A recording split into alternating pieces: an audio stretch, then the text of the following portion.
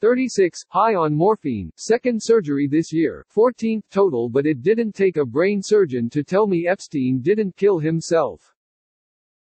Did you get the tattoos before or after brain surgery? Looks like the surgeon did them during. I'm not a tattoo artist and apparently whoever did your tattoos, wasn't either. I hope for him they would wash off in the shower.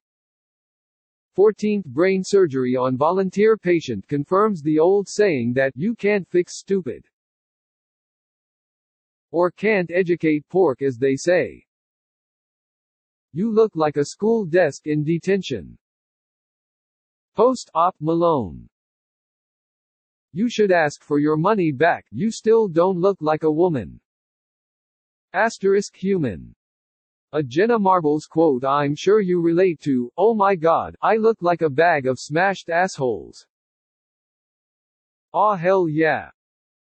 I love roasted vegetables. Edit, damn son, two silvers. Thank you kind strangers, my very first Reddit awards. Your kindness will not be forgotten. Hashtag Godin. Is that a bedpan or the helmet you normally wear? Shithead confirmed. Is the photo above you a reminder of what you looked like before the surgeries? Hey hey hey no need to insult our queen like that nobody deserves being compared to underscore that underscore. Your whole face looks like a rugby player's ear. Bahaha underrated. The fact that you can't spell Epstein shows that you indeed had too much surgeries. You indeed had too much surgeries lol. I was gonna say I would feel bad about roasting you, but then I saw the Yong sticker and realized you're already a joke. Definitely unemployed. From the looks of that hospital room I'm guessing you're in prison? What gave it away? Was it the walls or the tattoos? You look like your favorite band is Crazy Town. Whoa, too far. I'm a person with feelings and emotions and you hurt every one of them with this erroneous hateful post. I get it I have shit tattoos but I am not a butterfly sugar baby. How dare you? Man I feel you. 14 surgeries in my whole life. I've got nightmares with headache I've felt. Hope you won't end up losing control of your body, because it was hard to me to find a GF after that and your face is a big problem even without being unable to move your legs. Masterful job sucking us in with the pity party. A plus.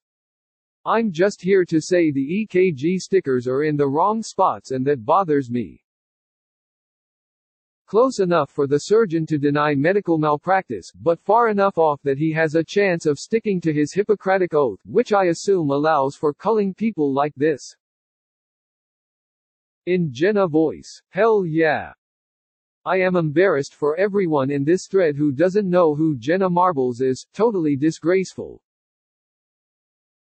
Looks like your tattooist was also high on goat's piss. With a side of kitty pee. I googled, hell yeah eyebrows, to see if the person in picture on the wall was from a mugshot or something. It's someone popular called Jenna Marbles or something like that. I have no idea who that is. Am I old? I'm 50, and I know who Jenna Marbles is. She's a YouTuber who has been around for a minute. I don't blame you for having your brain cut on until you forgot who that woman in that picture behind you is. That doofy smile on your face tells me just a few more operations and you'll be golden. That woman is the brain surgeon, it's Jenna's ratchet -er. You spelled Epstein wrong. I think you need a 16th brain surgery. You were so close. You misspelled my spleen.